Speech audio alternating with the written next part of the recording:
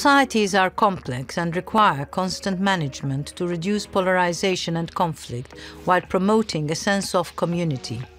Workplaces are no different.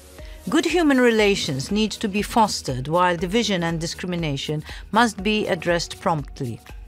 These conditions lead to the building of strong teams able to work towards common goals.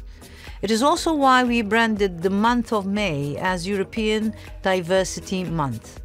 During this month, we assist the building of bridges between businesses, organizations, cities, and local communities for a European Union that is truly united in diversity.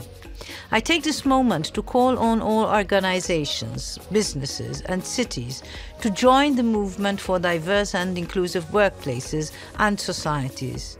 Join me this May in the collective celebration of European Diversity Month.